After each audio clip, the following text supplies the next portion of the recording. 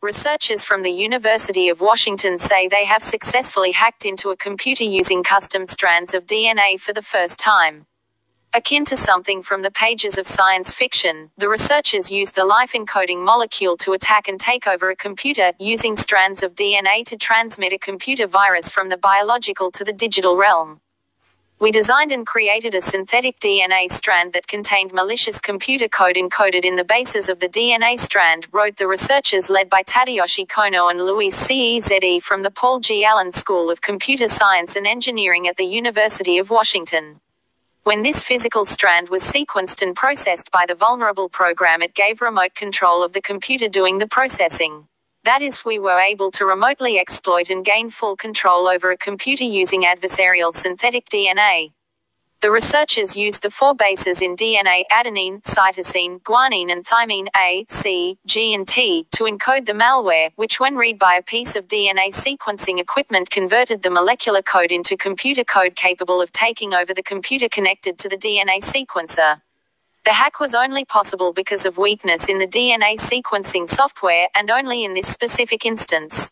The researchers say that there is no reason for concern. Note that there is not present cause for alarm about present day threats. We have no evidence to believe that the security of DNA sequencing or DNA data in general is currently under attack.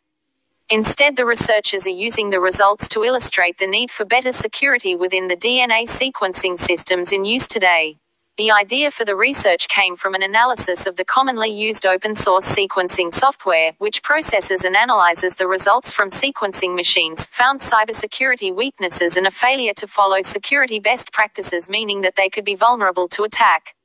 The results show that it is technically possible to use DNA as a way to transfer malware and attack vulnerabilities in the sequencing compute program. It is time to improve the state of DNA security, say the researchers. We again stress that there is no cause for people to be alarmed today, but we also encourage the DNA sequencing community to proactively address computer security risks before any adversaries manifest. Research has already shown that it is possible to transfer data using DNA. In April 2016, Microsoft and the University of Washington demonstrated a technique for storing and retrieving digital images using DNA that research aims to turn DNA into a viable storage medium for digital information, using its unique properties to store vast amounts of information in tiny amounts of liquid.